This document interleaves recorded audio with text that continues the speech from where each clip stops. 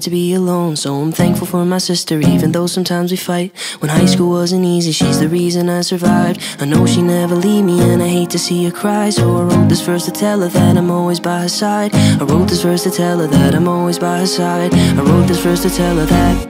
The world's not perfect, but it's not that bad If we got each other and that's all we have I will be your brother and I'll hold your hand